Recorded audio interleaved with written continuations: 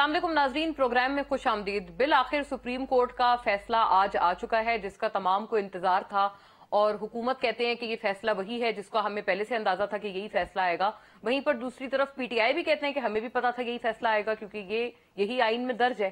फैसला in short ये है कि पंजाब में जो इंतबात हैं, वो जल्द अज जल्द कराए जाएँ। नब्बे दिन की जो आइन में एक पाबंदी है अंडर आर्टिकल 254 वो पूरी की जाए और नब्बे दिन के अंदर अंदर इंतबात हों। फिर साथ साथ आज बड़े वाजे अहकाम सुप्रीम कोर्ट ने दिए हैं कि इलेक्शन कमीशन ऑफ़ पाकिस्तान को 20 अरब रुपए जो कि इलेक्शन कराने की कॉस्ट है पंजाब में आ, वो जारी की जाए और उन्होंने कहा है कि 10 तारीख तक ये रकम जारी हो और फिर 11 तारीख को इलेक्शन कमीशन से बाकायदा रिपोर्ट भी मांगी जाएगी और उनसे पूछा जाएगा कि क्या हुकूमत ने आपको ये पैसे दिए, जिसकी, जो कि पैसे जो दरकार हैं। इससे पहले सुप्रीम कोर्ट ये भी अपने रिमार्क्स दे चुके हैं। उन्होंने ये भी कहा है कि अगर आर्मी नहीं अपनी डिप्लॉयमेंट कर सकती है इलेक्शंस की ड्यूटीज़ के लिए तो नेवी मौजूद है और एयरफोर्स मौजूद है। उनसे जो है वो नफरी लेकर इलेक्शंस की ड्यूटीज़ सर अंजाम दी जा सकती हैं। तो ये भी ऑप्शंस बताए जा रहे हैं। इससे पहले ये भी बात की थी मोजिस जज हजरात ने कि अगर ज़रूरत पड़े तो हम अपनी तनख्वाह जो है वो काट कर देने को तैयार हैं।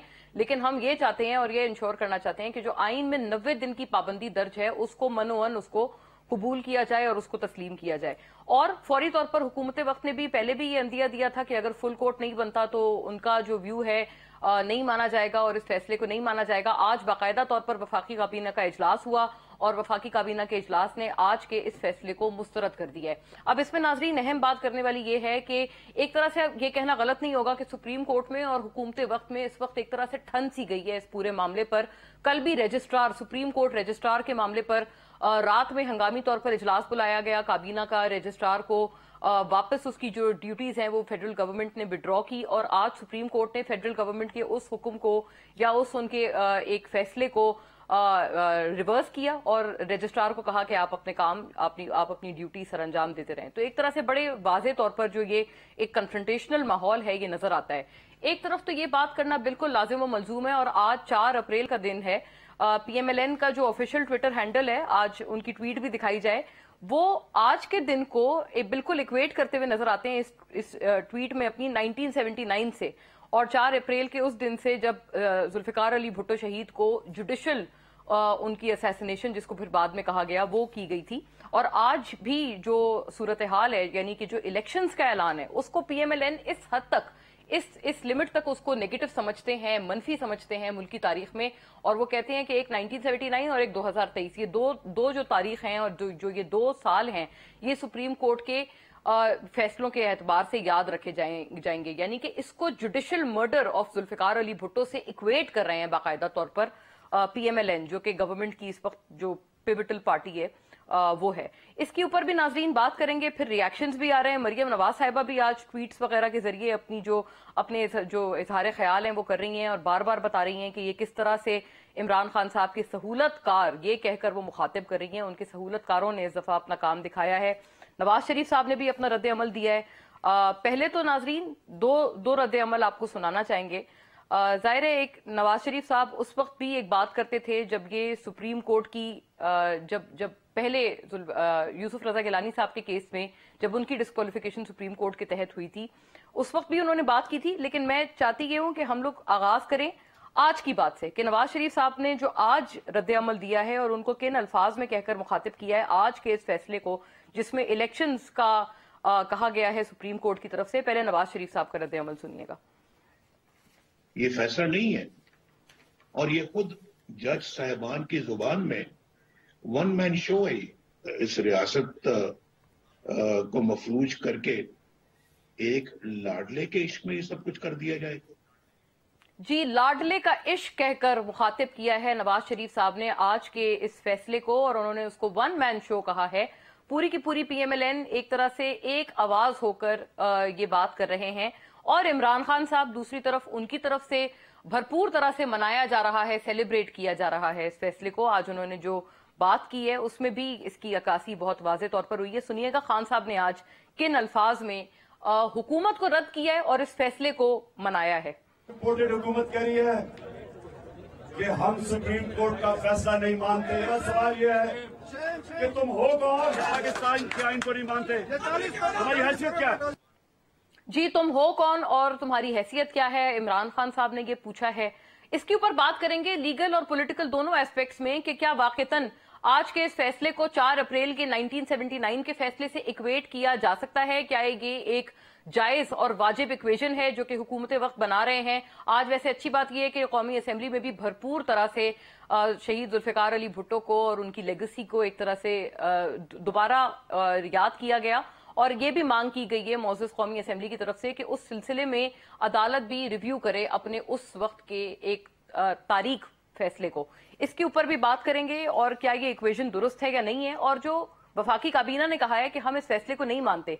क्या वफाकी काबीना इस पोजीशन में है भी कि अगर वो कहते हैं कि इस फैसले को नहीं मानते तो उनके ना मानने से क्या वाकता कोई फ़र्क पड़ता है? और क्या तोहन अदालत, जिसका कसूरवार पूरी की पूरी पीटीआई कह रहे हैं कि इस वक्त हुकूमत वक्त होगी अगर वो इस फैसले पर अमल अमल दरामद नहीं करते। और वज़ीर आज़म शहबाज शरीफ साहब के जाने की भी बातें हो रही हैं कि ये चीज़ उनके डिस्कालिफिकेशन तक भी मामले को ले जा सकती है, अगर हुकूमत ने इसमें रेजिस्टेंस दिखाई। इसके ऊपर भी नजरसानी करेंगे। मैं अपने मोजिस पैनल का फ़ौरन रुख करती हूँ। जनाब अब्बास खान आफरीदी यहाँ स्टूडियोज में हमें ज्वाइन कर रहे हैं। पाकिस्तान मुस्लिम लीग नून के स्टॉलवर्ट हैं। सबक वफाकी वज़ीर हैं। तमाम मामला पर हुकूमत वक्त का मौकफ और पी एम एल एन का मौकफ हमारे साथ रखेंगे। शुक्रिया अब्बास साहब। थैंक यू आपकी तशरीफ़ आवरी के लिए। अंदलीब अब्बास साहिबा नाजरीन, पाकिस्तान तहरीक इंसाफ की स्टॉलवर्ट हमारे साथ हैं और तमाम मामला पे पी टी आई का जो पर्सपेक्टिव है रखेंगी। Very prominent speaker of party welcome Andleeb साहिबा। Thank you for gracing the show और नाजरीन जनाब नजीर लगारी पूरे मामले पे अपना जो तजिया तबसरा है, वो हमारे साथ, हमारे हमरा रखेंगे। वेलकम सर आपका भी बहुत बहुत शुक्रिया और आपको बहुत खुश आमदीद। और बिलखसूस आज चूँकि शहीद जुल्फिकार अली भुट्टो की बरसी भी है और पूरी की पूरी पीपल्स पार्टी एक तरह से इस दिन को ऑब्ज़र्व भी कर रहे हैं तो वेरी रेलिवेंटली हम उसके हवाले से भी आपसे बात करेंगे। और जो ये एक जो एक कंपैरिजन किया जा रहा है आज के दिन का, उसके दिन से, उसके बारे में भी आपसे जानेंगे।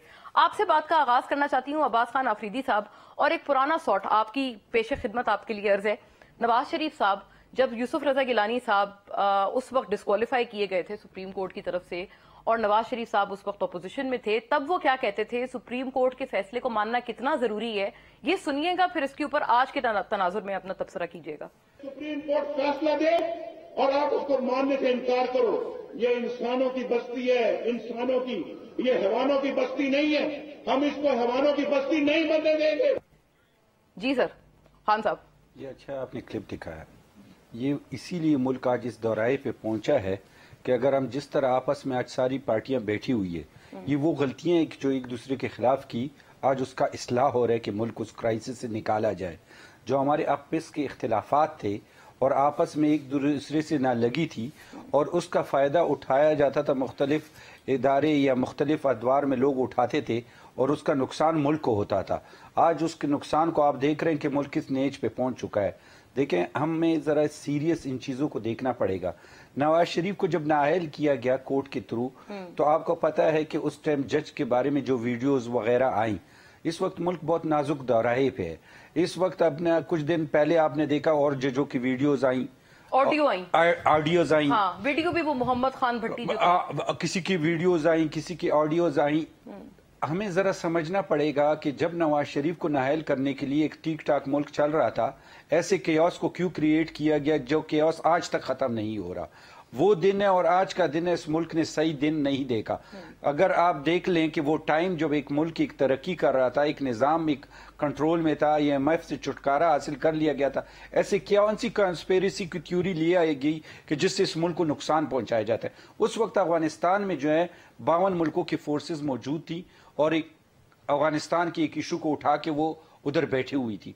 और पाकिस्तान की इकोनॉमी ठीक ठाक एक अपने कंट्रोल में चल रही थी टेररिज्म को कंट्रोल कर लिया था बिजली को कर... उसके बाद आज तक हम आपस में सियासी भी लड़ रहे हैं इकोनॉमी भी हमारी तबाह हालात भी तबाह टेररिज्म दोबारा शुरू हो गई है ये क्या वजूहत है किसने किया यही मैं आपको समझा हाँ। रहा हूँ ये वो इंटरनेशनल इस्टेब्लिशमेंट और पाकिस्तान जिस खत्े में जिस जगह में मौजूद है हाँ। हर सियासी लीडर को सोचना पड़ेगा कि इस वक्त पाकिस्तान आई एम एफ़ ओ इमरान खान ने एग्रीमेंट किया हो तो वो एग्रीमेंट इमरान खान का नहीं था वो स्टेट का था। अभी ये गवर्नमेंट उसको देखेगी। अगर वो गलत भी था हम्म। तो ये गवर्नमेंट उसको ठीक करने की कोशिश करेगी। लेकिन आया इस वक्त मुल्क क्या हालात है? आया ये कि ये कुर्सी दूसरी कुर्सी ये कुर्सी उर्सी नहीं रहेगी। मुल्क रहेगा तो कुर्सियाँ रहेंगी। सही बात। अगर हम पाकिस्तान को इस वक्त आप सोचे ना जिस वक्त नवाज़ शरीफ बैठा था उस वक्त की कीमतें लें और आज की कीमतें लें। आज आपने जजों को देखा मुझे एक चीज़ हैरानगी हो रही है। कि अगर लार्जर बेंच बन जाता तो मुझे नहीं समझ आ रही है कि क्या होता अगर सही फैसला आ जाता और सारे तो मुल्क अगर इलेक्शन भी मिसाल कि वो इलेक्शन भी अनाउंस कर लेते। हाँ। तो सबका इतेमाद होता एक सही सोच और सही फ़िक्र होती सही है। और पूरा तब आप मान लेते तब आप ये फैसला मान लेते। कोर्ट का मतलब क्या है सुप्रीम कोर्ट का?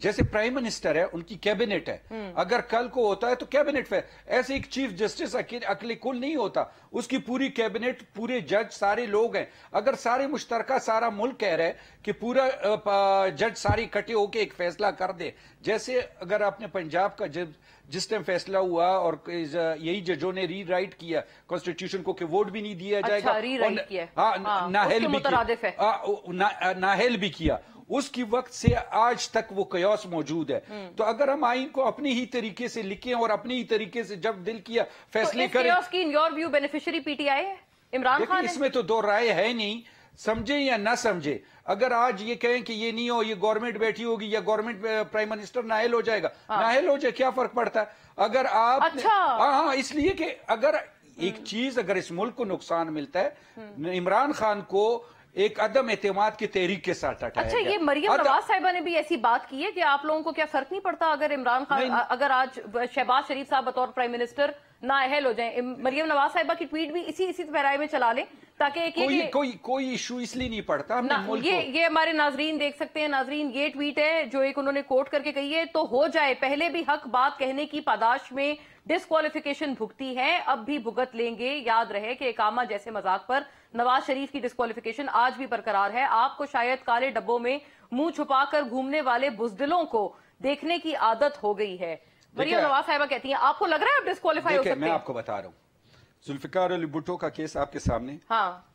आज भी वही जज सारे बैठ के उसको रिव्यू क्यों नहीं कर रहे कि वो जायज़ था या नाजायज था?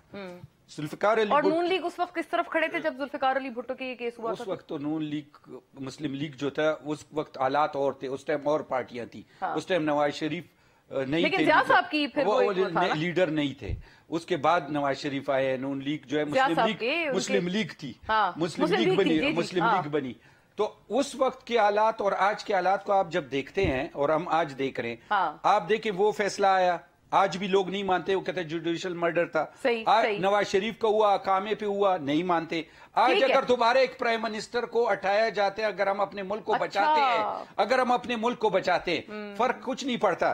असल चीज़ है पार्टियाँ पार्टियाँ बाद में मुल्क पहले है। मुल्क पहले है, मुल्क पहले है। देखिए आज हमारी केपीके में मैं- अब्बास साहब, मुझे बात को आगे ले जाने छोटी सी बात। हाँ। आज हमारी केपीके में तीन पुलिस वाले शहीद हुए।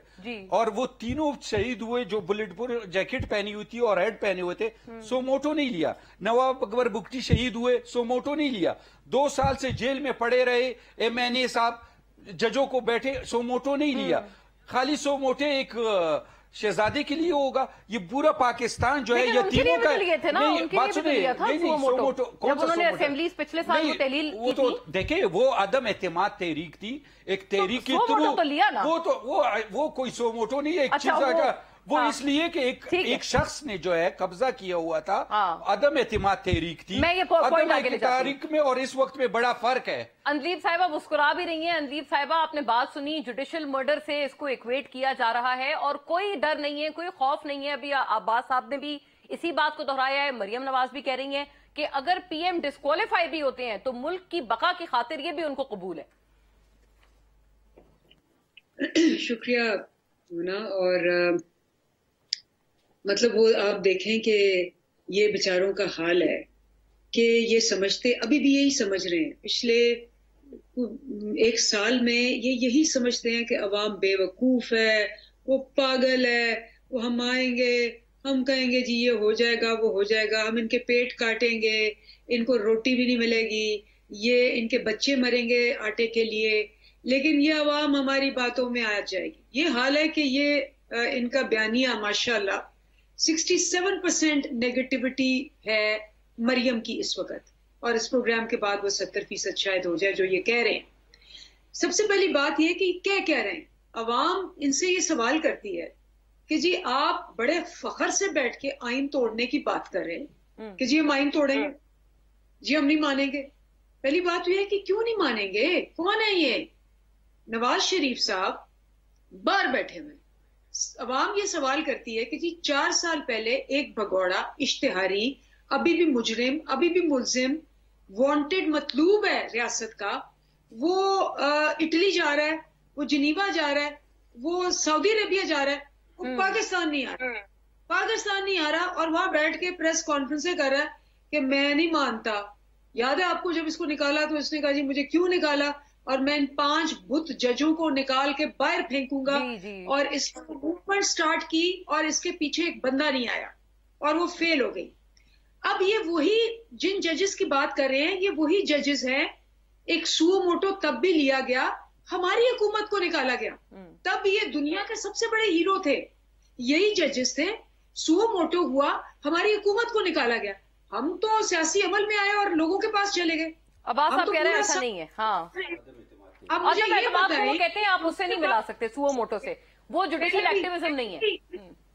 पहले भी इन्होंने ये पूरी ऑपोजिशन में रहे एक जलसा ये इन्होंने मर मर के तेरह पार्टियों ने किया और वो भी इतनी बेइज्जती हुई उनकी उसके बाद तौबा कर ली इन्होंने जो दो अ, मार्च किए वो एक मार्च किया अ, उसने मौलाना फजलुर रहमान ने अपने वो मदरसे के बच्चों के साथ ये नहीं कर सके और उसमें भी हमने कहा जी आए मार्च में बैठे हमने को हमने बल्कि का खाना देते हैं इनको और हमने इनको साफ़ किया जो इन्होंने अवाम के साथ किया है माओ बहनों बच्चों औरतों बुज़ुर्गों के साथ ये समझते हैं कि हाँ। लोग जो है वो लेकिन अनलीब साहिबा एक एक बात है मेरा मेरा अर्ज़ सुनिएगा वो आप कहती हैं कि उनके जलसे भरपूर नहीं। अभी तो वो कहते हैं कसूर में हमने इतना भरपूर जलसा किया है। इमरान खान साहब तो चाह के भी दो दफ़ा सौ दफ़ा भी वो अगर करें कोशिश करें तो उस जलसे का मुकाबला नहीं कर सकते जो मरियम नवाज़ ने कसूर में जो क्राउड इकट्ठा किया है।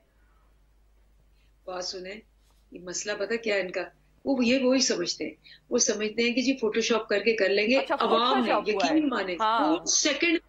उन्होंने चार चीज़ें निकाल के सबको दिखाई कि रिपीट हो रही है। वही बंदा चार चार जगह खड़ा है। ये मतलब दो सेकंड में मेरे आपका का, काम नहीं है। अवाम हमसे इतनी आगे है उनके पास इतनी इंफॉर्मेशन है क्योंकि शायद आपको भी पता हो आर्टिफिशियल इंटेलिजेंस आ गई है। सही सही। आर्टिफिशियल यानी उसका कमाल था इन योर व्यू ठीक है। मैं और दूध का दूध पानी का पानी हो जाता है। अब ये जो करने की कोशिश कर रहे हैं ये पूरी कोशिश इनकी यही है कि मुल्क डूब जाए। आप देखें आईएमएफ नहीं आ रहा। आप देखें आज इक्कीस फ़ीसद हो गया है इंटरेस्ट रेट बिल्कुल, बिल्कुल। इन्फ्लेशन चालीस फ़ीसद हो गई है। आप देखें लोग भूख से मर रहे हैं। आप देखें रमज़ान में लोग खुदकुशियाँ कर रहे हैं। और ये समझते हैं कि ये लोग जो है अच्छा बल्कि हकीकतन। अनलीब साहिबा अभी ब्रेक से पहले या शुरू होने से पहले प्रोग्राम अब्बास साहब भी यही आईएमएफ के हवाले से ही बात कर रहे थे और वो भी यही कह रहे थे कि एक पॉइंट पर आप लोग आकर नहीं दे रहे। और ये जो तबाही का सिलसिला है अब्बास साहब का या पीएमएलएन का ये व्यू है ये तब से शुरू हुआ है जब से नवाज़ शरीफ साहब को ना अहल किया गया है। नजीर लगारी साहब की भी जरा बात मैं सुन लूँ इस बात इस मामले पे। नजीर लगारी साहब आज बरमला वज़ीर आज़म शहबाज शरीफ ने कौमी असेंबली में खड़े होकर कहा कि ये चार अप्रैल को जो भुट्टो के साथ हुआ वही चीज़ जो है आज दोहराई गई है। किन अल्फाज में उन्होंने बात की ये सुनिएगा फिर इसका जवाब प्लीज़ फरमाइए। कैसा तारीख का जबर है कि आज चार अप्रैल है फॉर्मर प्राइम मिनिस्टर शहीद जुल्फकार अली भुट्टो का जुडिशल मर्डर आज ही की तारीख को हुआ। आज फिर एक मरतबा चार तारीख को जहाँ स्पीकर अदल इंसाफ का कत्ल हुआ। जी लगारी साहब ये ये कंपैरिजन दुरुस्त है सर? बहुत शुक्रिया। हमें जाना पड़ेगा पीछे थोड़ा सा कि हमारी अदालतें नज़रिया ज़रूरत के तहत फैसले करती रही हैं और इसी तरह के फैसले अब भी किए गए हैं। आ, ये जो फैसला है अगर ये नज़रिया ज़रूरत के तहत नहीं होता तो नब्बे दिन के लिए पहले फैसला किया जाता है कि नब्बे दिन के अंदर चौदह अप्रैल को इलेक्शन होंगे जब सो मोटो लिया गया या चले पिटीशन थी किसी ने पिटीशन दायर की। और पिटीशन दायर की तो आप दो दिन समाप्त करके कहते कि जी चौदह अप्रैल को तारीख बनती है और कोई उसमें कोई रियायत नहीं है। आप इलेक्शन करें और चौदह अप्रैल को इलेक्शन हर सूरत में होंगे। हम्म। जब नहीं हुए तो आपने आगे कर दिए। और आगे क्या हुआ आपने छोड़ दिया कि जी अच्छा नई तारीख का ऐलान किया जाए। नई तारीख का ऐलान उन पर छोड़ा गया इलेक्शन कमीशन पर। इलेक्शन कमीशन ने नई तारीख दे दी। इलेक्शन कमीशन ने कहा है कि जी मैं तीस से सात के दरमियान इलेक्शन करा सकता हूँ तो भेज दी तजवीज प्रेसिडेंट आरिफ अलवी साहब को। आरिफ अलवी साहब ने कहा जी तीस अप्रैल को इलेक्शन होंगे। जो ये तीस अप्रैल थी वो कोर्ट का फैसला ये है कि नवे दिन के ही अंदर इलेक्शन होने हैं। सही सही। अब भी फैसला हुई है। हम्म। लेकिन उस वक्त भी 106 दिन हो गए थे। और अब जो फैसला आया है 122 दिन हो गए हैं। हम्म। तो आप नवे दिन में नहीं रहे हैं। हाँ अब ये बड़ी आपने एक वैलिड ऑब्जर्वेशन दी है कि नब्बे दिन तो वैसे ही क्रॉस हो गए। तो यानी कि आपके व्यू में सर अगर आठ अक्टूबर भी कर लेते तो कोई खास कबाहत नहीं थी अगर नब्बे दिन ऑलरेडी गुजर चुके हैं तो? नहीं मैं आइन के इनहराफ की हिमायत नहीं करता हूँ। हम्म। और मेरा शुरू से ये मौकब रहा है कि अगर नवे दिन में होने हैं तो फिर नवे दिन में होने हैं तमाम इदारों को मिलकर नवे दिन के लिए ही करना चाहिए था। अब जरा पीछे चलते हैं। हम्म। तारीख में पहली बार लियाकत अली खान को कत्ल कर दिया गया। उसके बाद नाजमुद्दीन को बेइज्जत करके निकाल दिया गया। ये। कैद आज़म के साथी थे सारे के सारे। हम्म। और उसके बाद मोहम्मद अली बोगरा को बाकायदा फिजिकली पीटते हुए मारते हुए लाकर उनसे इस्तीफा लिया गया। जी जी फिर चौधरी मोहम्मद अली को हटाया गया। हम्म। फिर उसके बाद चौधरीगर को उसके बाद जो है वो हुसैन शहीद सरवती को फिरोज खान नून को सबको बेआबरू करके निकाला गया। भुट्टो को फांसी पर चढ़ा दिया गया। उसके बाद जो है वो नवाज़ शरीफ और बेनजीर एक दूसरे के मुकाबले में लाकर खड़े किए गए। एक के सर पर हाथ होता था दूसरे को हटा देते थे दूसरे के सर पर हाथ रखकर उसको हटा देते थे। ये चल रहा था ये वही खेल है। ये यही तो यहाँ चलता रहा है हाँ। मैं नहीं मैं मैं अब कर, यहाँ एक पहली बार एक तब्दीली हुई। हम्म। वो ये थी दो बार दो वजर आज़म को अदालती मार्शल्ला के ज़रिए हटाया गया कि अदालती फैसला दिया गया और उसके तहत यूसर गिलानी को और नवाज़ शरीफ को हटाया गया अदालती फैसले के ज़रिए। आयन में लिखे देखें आयन में जो वज़ीर आज़म को हटाने का तरीका कार है वो लिखा हुआ है। हम्म। वो ये है कि उसके खिलाफ तहरीक अदम एतमाद आ जाए और कामयाब हो जाए।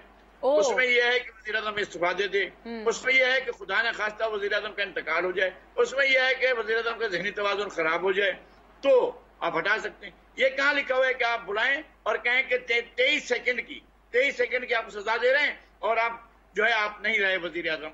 तो ये जो तरीका ईजाद किया गया वज़ीर को हटाने का गोया ये आपने जुडिशल मार्शल लॉ से इस बात को इक्वेट किया लेकिन नजीर लगारी साहब मैं- मैंने जी जी। मैंने लफ्ज किया मैंने लफ्ज इस्तेमाल किया अदालती मार्शल मैंने ये लफ्ज इस्तेमाल किया हम्म, अदालती मार्शल लॉ बाद क्या हुआ? जी। पहली बार तारीख में पहली बार तारीख में इमरान खान के खिलाफ बाकायदा आइन के आर्टिकल 95 के तहत एक करार एक जो है तहरीक अदम एतमाद लाई गई। हम्म।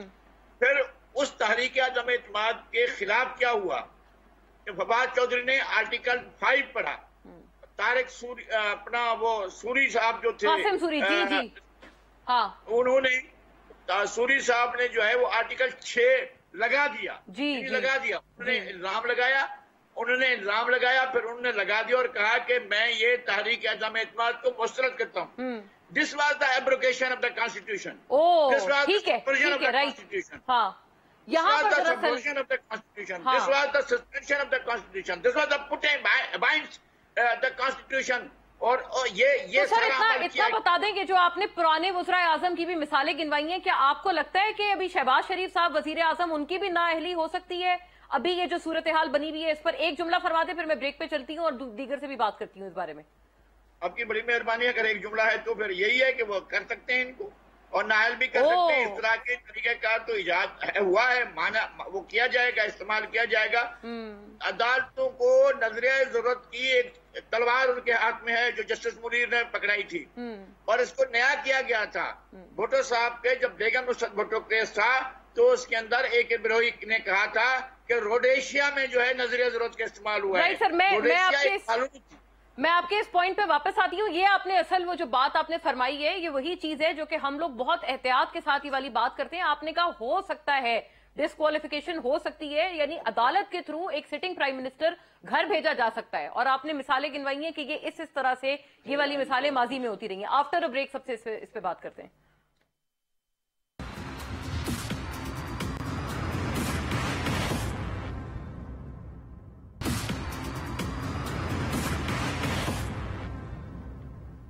जी वेलकम बैक नाजरीन। इस बहुत अहम नुक्ता नज़र पे बात करते हैं, जो कि नजीर लगारी साहब ने ब्रेक से कबल बात की। अब्बास साहब कुछ इसी तरह की बात ना फवाद हुसैन साहब चौधरी फवाद हुसैन ने आज ट्वीट की है मरियम नवाज़ साहिबा को जवाब देते हुए।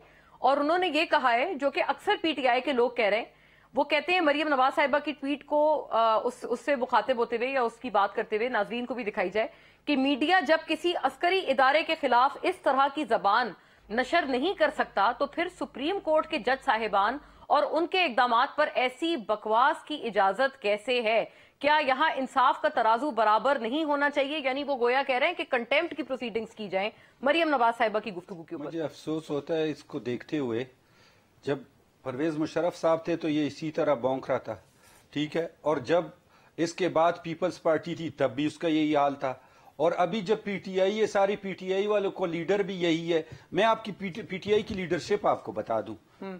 Fawad Chaudhry Peoples Party Shah Mahmood Qureshi Peoples Party इनके वो वकील साहब जो बाबर, बाबर रहवान पीपल्स पार्टी ये सारे वो लोग हैं कि जो उस वक्त पीपल्स पार्टी से बगोड़े होके निकाले गए इनको पार्टी के डिसिप्लिन से निकाला गया उसके बाद आज ये स्पोक्समैन बने हुए हैं इमरान खान साहब के और जमहूरियत का दर्श दे रहे हैं।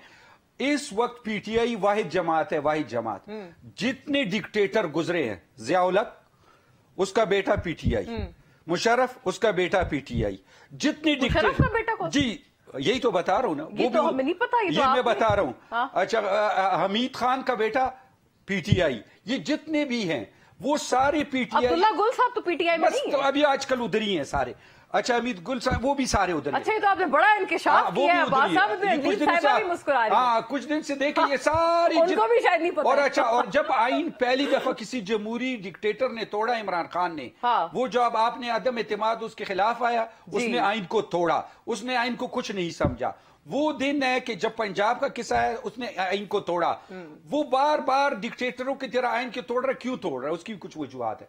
आपने पिछले तो तीन दिन देखा फवाद चौधरी कह रहे हैं मैं पाँच दफ़ा अमेरिकन एम्बेसडर से मिला। जी कहा है हाँ। पाँच दफ़ा मैं गया। एक तरफ़ अमेरिका ने इनको तबाह किया पाकिस्तान को तबाह कर रहे थे और प्राइम मिनिस्टर जो ex prime minister Imran Khan के स्पोक्समैन वो जाते हैं अमेरिकन एम्बेसडर के साथ पाँच दफ़ा मिलते हैं। किस लिए? कि आईएमएफ का बिल ना होने दे पाकिस्तान को क्राइसिस में रखे। पाँच दफ़ा मुलाकात। वो इस पे इस पे तो नहीं अच्छा, कहते वो तो कहते हैं हम इसलिए मिलते हैं क्योंकि आप इंसानी जो हुकूक है उनकी संगीन खिलाफ वर्जी अच्छा, इसलिए ह्यूमन राइट्स पर मिल अच्छा वो अमेरिका से हेल्प मांगते हैं जिन्होंने इनको गिराया नहीं अच्छा हमारे खिलाफ। हाँ। और इनको गिराया भी। और इनको हटाया भी। उनसे ये हेल्प मांगते हैं ह्यूमन राइट्स का। हाँ। फिर दूसरी तरफ़ बर्तानिया का एम्बेसडर जाता है वो मिलता है।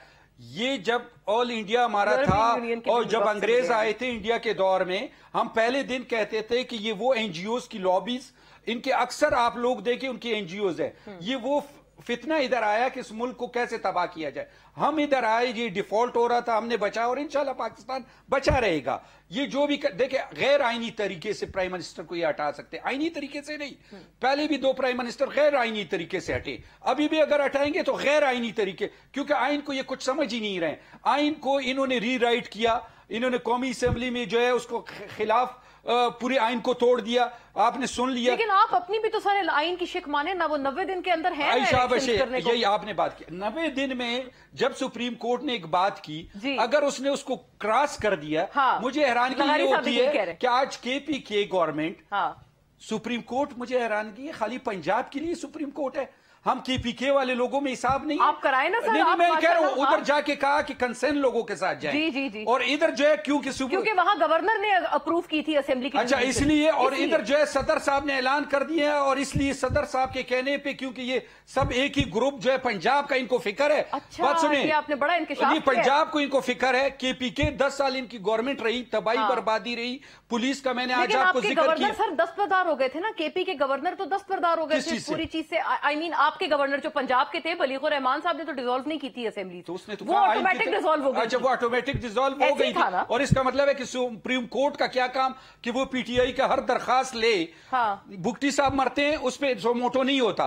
एम एन ए साहब जेल में होता है उस पर नहीं होता। नहीं एक बात सुनिए नहीं नहीं इधर हमारे रोज़ाना पुलिस वाले मर रहे हैं। जो पीटीआई वालों ने उनके लिए बुलेट प्रूफ और जैकेट दिए थे उस पर सुमोटो ने कल भी पुलिस बुलेट प्रूफ उन्होंने दिए केपी के कह तो रहा हूँ कल तीन पुलिस वाले जो है शहीद हुए हैं। ये सारे करप्शन के केस है इसमें देखिए मुझे आप बताए करप्शन का केस क्या होता है? और स्टे ऑर्डर कौन लेता है? अगर वो करप्ट नहीं है वो बोले मेरे केस चलाएँ। इनके 500 केस है यही जज ऑर्डर लेते हैं ये बात दुरुस्त एक मिनट हाँ। साकिब निसार आए। इस मुल्क को तबाह और बर्बाद किया चीफ जस्टिस साहब ने तबाह और बर्बाद किया।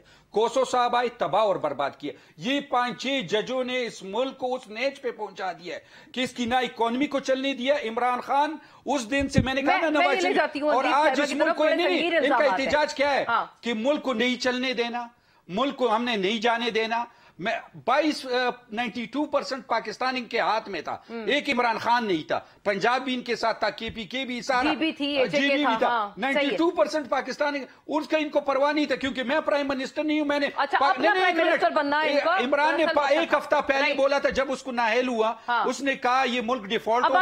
आगे ले जाने तो बड़ी दिलचस्प बात है। इसके ऊपर और भी पॉइंटर्स आने चाहिए। अनलीब साहिबा तमाम जो सबक जो जनरल्स हैं फौजी जनरल्स हैं सबके बेटे साहबजादे आपकी तरफ़ है पीटीआई में। उन्होंने हमीद गुल साहब का भी नाम लिया है लेट मुशरफ साहब का भी नाम लिया है। इसके ऊपर तबसरा फरमाइए। और दूसरा जो अमेरिका जिन्होंने आपको गिराया ये तो जियाउल वो तो खैर एजाजुल हक्का में पता है लेकिन दो का हमें नहीं पता था। वो शायद अनदीप साहिबा इसकी तरदीद या तस्दीक कर सकती हैं। लेकिन अनदीप साहिबा दूसरा ये कि जिस अमेरिका ने आपकी गवर्नमेंट को घर भेजा उन्हीं के साथ ह्यूमन राइट्स वायलेशन पर अगर आप मदद मांग रहे हैं तो ये बात बिल्कुल सही है और ये बड़ा वाजिब एक, एक ये ऑब्जर्वेशन उनकी है कि इट डजेंट मेक सेंस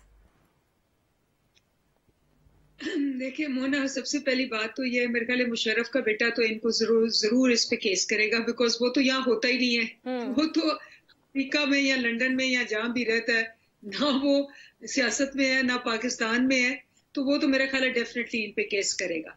अब जहाँ तक इनकी अपनी बात है तो आप, जी। आप आप आप आ, मुझे कंप्लीट कर लें जी जी प्लीज़ आपको पता है कि इनके सत्तावन लोग हैं जो मुशरफी हैं जो ये लेके आए हैं। दूसरी बात ये कि ये तो आ, कोई इसमें बात नहीं है कि ये दोनों जमातें जो हैं ये बूट पॉलिशी हैं इनकी आ, सारे डिक्टेटर से भुट्टो साहब जो थे वो फॉरेन मिनिस्टर रहे आ, इसके अयूब खान के उसको डैडी कहते थे।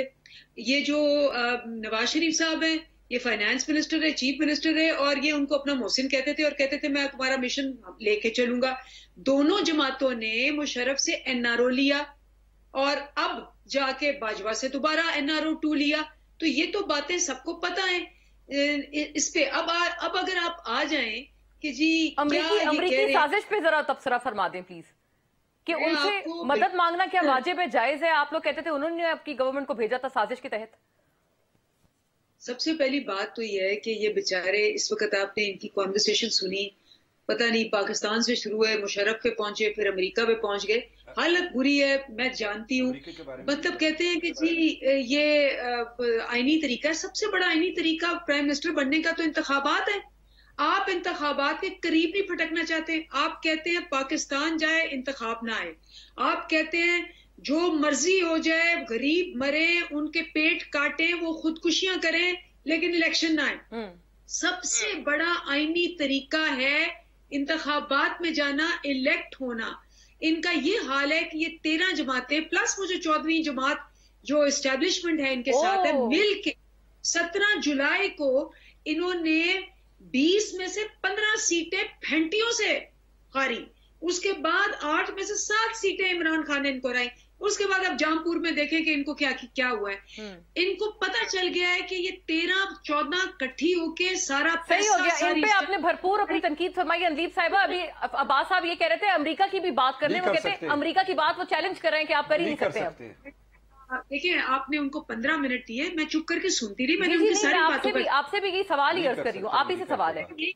सवाल करी अब आगे जी आप अमेरिका की साजिश। जी। बिल्कुल आपको पता है कि क्या वो जो वकास जर्नलिस्ट है उसने बाजवा हकानी फाइल्स तो सारी आउट कर दी हुई आप सबने पढ़ी हुई है आपने टीवियों पे दिखाई है आपने चैट शोज़ किए उसमें क्या है? उसमें ये है कि जी इस हुकूमत को रिजीम चेंज में बाजवा साहब लेके आए और उन्होंने किया क्या?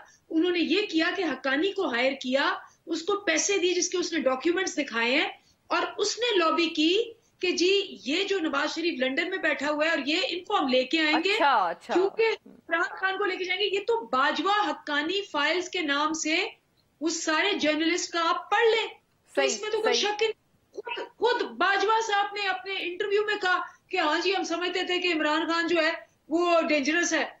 तो इसलिए तो आप इसमें तो कोई शक ही नहीं है कि इन्होंने वहाँ पूरी लॉबिंग की पूरा केस बनाया और उस केस के बाद इन्होंने बूट पॉलिश कर करके ये वापस आए। लेकिन ओ, सबसे right.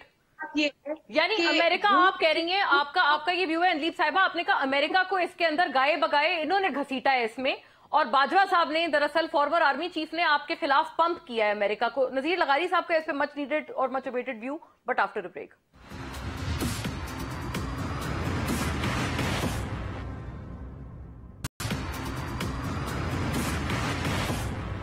जी वेलकम बैक नजीर लगारी साहब, इस बात पे आपका तबसरा आ जाए। आप आप बताइएगा क्या वाकता इसी तरह से ये अमरीकी साजिश वगैरह के आर्मी चीफ, सबक आर्मी चीफ ने दरअसल अमेरिका को पंप किया खान साहब के खिलाफ थ्रू हक्कानी हुसैन हक्कानी। ये बड़ी एक अनलीब साहिबा ने, ये ऑब्वियसली पीटीआई की पूरी ये एलिगेशन है और उस पर कहते हैं कि ये एक बड़ा एक एस्टेब्लिश्ड फैक्ट है। इससे कोई नज़र नहीं चुरा सकता। अच्छा वो एक सहाफी के बारे में जो है वो बात मानी गई है जो उसने कहा है। और इतफाक ये है कि मैं भी सहाफी हूँ। और मैं अगर मुझे लोग कहते हैं कि सीनियर सहाफी है लेकिन मैं मैं जंग ग्रुप का एडिटर रहा हूँ पूरे ग्रुप का एडिटर रहा हूँ मैं और मैं जियो का जो है वो हेड रहा हूँ कंटेंट का कंटेंट रिव्यू का ये सारे प्रोग्राम जो है मैं ही इनको देखकर ओके करता था। ये एक सिर्फ़ मेरा अपना मैं बताता जी हूँ। जी सर आपके सहाफती क्रेडेंशियल से कोई इनकार नहीं है। जी जी। नहीं मैं ये कहता हूँ कि फिर मेरी बात भी मानी जाए। मैं कहता हूँ कि इंटरनेशनल इस्टेब्लिशमेंट ने पाकिस्तान की इस्टेब्लिशमेंट ने और पाकिस्तान की अदलिया ने मिलकर ये गेम किया है कि अनपॉपुलर जो जिसके लिए जनवरी फरवरी 2022 में लोग झोलियाँ फैलाकर दुआएँ मांग रहे थे कि ये मुल्क से जाए इमरान खान के लिए उसको दोबारा पॉपुलर बनाने के लिए नुस्खा बनाया गया था कि क्या अच्छा, नुस्खा तो होगा। बहुत नुस्खा हुआ कि जी रूस भेजें फिर रूस भेजने के बाद उनको वापस बुलाएँ और फिर अमेरिका की नाराज़गी इनको पॉपुलर बनाने के लिए। ये अब्बास साहब तो ऐसे ही फिर ये बेचारे बीच में घसीटे गए। मेरी बात मेरी बात जी जी प्लीज़ प्लीज़ हाँ प्लीज़ सर डोनाल्ड लू को लाया गया कि जी डोनाल्ड लू ने वो एक साइफर लिखा है। हम्म। डोनाल्ड लू के बारे में कौन जानता है? किसी को मालूम है? हमें तो वो नहीं पता था। चीनी नजाद है वो चीन की चीनी बाशिंदा जो अमेरिका में जाकर आबाद हुआ है वो चीनी बाशिंदा जो अमेरिका में है वो वो डोनाल्ड लू है और डोनाल्ड लू ने साजिश की और उसके बाद कहा कि जी इसको हटा दें। फिर इनके साथ एक साहबी आकर बैठा। साहबी ने पूछा कि जनाब अमेरिका आपसे ये करे मांग डिमांड करे तो आप क्या करें? एब्सोल्युटली नॉट फिर उसको रिकॉर्ड किया गया। ये देखें जी अमेरिका को जो भाई एक साहबी से बात कर रहा था। कौन से अमेरिकी सदर जो है डोनाल्ड ट्रंप से या जो बाइडन से बात कर रहे थे वो हाँ। तो अमेरिकी साहबी से बात नहीं एब्सोल्युटली नॉट भाई अमेरिका को है दिया। हाँ। ये सारा एक बनाया गया एक बनाकर पाकिस्तान लेकिन सर वो तो पीटीआई ने बनाया ना। अगर ऐसा बनाया तो वो पीटीआई ने बनाया। आप कह रहे हैं कि पूरी एस्टेब्लिशमेंट इंटरनल और एक्सटर्नल दोनों एस्टेब्लिशमेंट ने मिलकर खान साहब को ये प्रॉपअप किया ये करके। इंटरनेशनल स्टैब्लिशमेंट पाकिस्तान की स्टैब्लिशमेंट पाकिस्तान की जुडिशरी अच्छा मज़े की बात सर बताऊँ अभी अब्बास साहब आपसे इत्तेफाक कर रहे हैं लेकिन अब्बास साहब के साथ तो फिर गेम हो गई है। मैंने भी यही बात की थी। वो भी यही कह रहे हैं हमारे साथ तो गेम हो गई है। तो कहा एस्टेब्लिशमेंट जी। नहीं मैं मैं वही कह रहा हूँ। मैं वही कह रहा हूँ। हाँ। और, और ऐसा हुआ है और ऐसा हुआ है कि जनाब अच्छा ये पॉपुलर नहीं है। अच्छा। फिर बिल्कुल।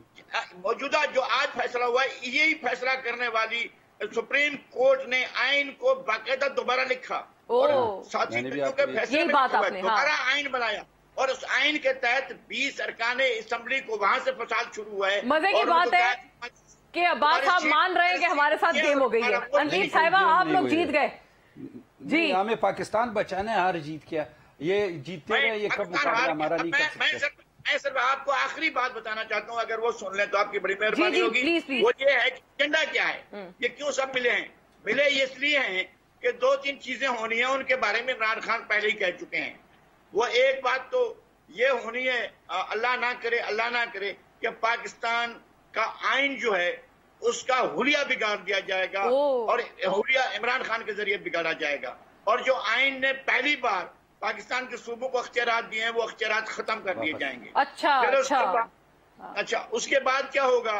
उसके बाद क्या होगा कि ये सारे अख्तियार सदर को मुंतकिल किए जाएँगे आर्मी बहुत बड़ा इंकशाफ है सर ये तो ये तो आपने तारीख का सबसे बड़ा इंकशाफ कर दिया है कि अल्टीमेट ये गेम प्लान है। जी अनदीप साहिबा इस पे अगर जी और सुने सुने सिर्फ़ दो चीज़ें और हैं। जी जी। इंटरनेशनल इस्टेब्लिशमेंट आपके आपके अपने इदारों के ज़रिए उनके गले में हाथ रखे हुए उनका गला घूंढना चाहती है। ये इमरान खान साहब ने कहा था कि वो फौज को और और आईएसए को भी खत्म करना चाहता है अमेरिका। और ये भी कहा था कि मुल्क को तोड़ना चाहता है। ये कहा था, तीन टुकड़े करना चाहता है। ये इमरान खान ऑन रिकॉर्ड हैं। जी, तो जी। अब आ, कौन कौन सा एजेंडा पूरा होता है फिर ये देख रहे हैं। जी अंदीप साहब ये इस पे इस पे प्लीज़ जल्दी से कुछ चंद सेकंड्स है मेरे पास लेकिन आपका इस पे फीडबैक आना बड़ा ज़रूरी है। एक्चुअल ये गेम प्लान है जिसका आप लोग हिस्सा है जो खान साहब के थ्रू एग्जीक्यूट करना चाह रहे हैं। ग्रेटर गेम प्लान माशाल्लाह ये देखें कि जिनको ये डिफेंड कर रहे हैं आज वो जिसने आइन बनाया उसका नवासा आज कह रहा है कि अगर इलेक्शंस हो गए तो मार्शल लॉ लग जाएगा। मतलब आप सोचें कि ये लोग यहाँ बैठ के जो बातें कर रहे हैं, इनकी एक ही एक ही बेसिस है कि पाकिस्तान की आवाम बेवकूफ़ और बिल्कुल अंधी और बैरी है। उनको समझ नहीं कि ये जो 40 साल से मुल्क खा रहे थे और खा खा के कभी दुबई और कभी सरे पैलेस और कभी सरूर पैलेस और कभी एवन फील्ड्स में जाके छुप जाते हैं और आप अभी भी वो एक दुबई में बैठे हुए हैं जरदारी साहब। और एक बैठे हुए हैं वो लंदन में ये समझते हैं कि यहाँ वहाँ बैठ के जो 40 साल इन्होंने चारा दिया और इस किस्म की बातें की हैं वो चल जाएँगी। यही फ़र्क है। यही चीज़ इनको नहीं रियलाइज़ हुई और इससे इनका सारा। भांडा कि ये अवाम सही राइट राइट आपका आपका इस पे फीडबैक आ गया। ज़ाहिर है आप तरदीद कर रही हैं लेकिन एक बड़ी बहुत ही एक अहम बात थी जो कि लगारी साहब ने थ्रू हिज जर्नलिस्टिक उन्होंने अपने सोर्सेज के थ्रू और अपनी सारी नॉलेज के थ्रू ये बयान की। खैर, इंशाल्लाह इस पे और दीगर बातों पे हमारी वील की क्लोज आए। आपके देखने का शुक्रिया और तमाम thank you to the lady and gentleman Allah Hafiz.